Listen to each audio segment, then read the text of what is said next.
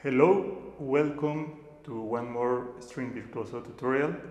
My name is Rodrigo Mata, Mexican bassist and composer, and today I will talk about how to work on my composition Hymn on a theme by Franz Joseph Haydn for solo double bass. This composition was commissioned by my dear friend and great bassist Susan Hagen from United States.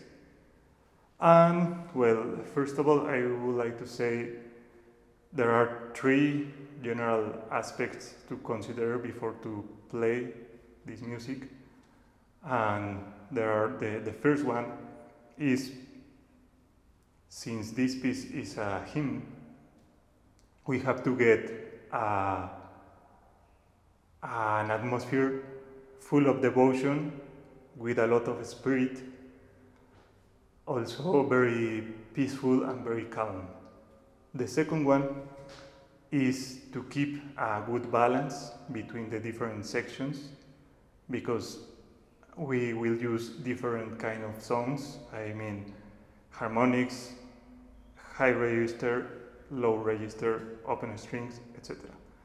And the third one is the connection between also the, the sections and connection between every single note because we have to keep a continuous line during the whole piece. Not rest, not silence. Okay, let's start with the introduction. The first eight bars. Um, this part is the most textural section, and we have um, some specific indication of the score. One is the, the bow technique. We have to play sul ponticello and I wrote a small indication on the bottom of the first line that says first eight bars play almost like multiphonics. And this has a particular reason. I will explain this later. So I will play a few bars of this introduction.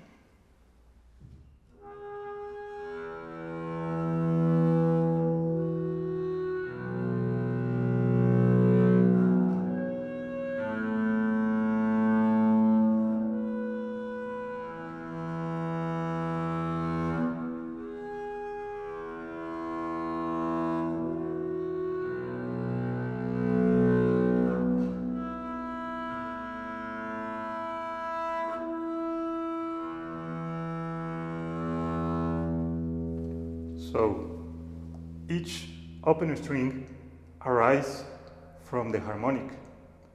And this thing about multiphonics, if you are not very familiar with multiphonics, is not very complicated. We put a very soft um, left hand weight to make a natural harmonic and to get a multiphonic, we have to put even less weight on the left hand. So we will get more spectrum of sounds. So since we have harmonic and then open string, we have to get a multiphonic just between the two notes on the transition. So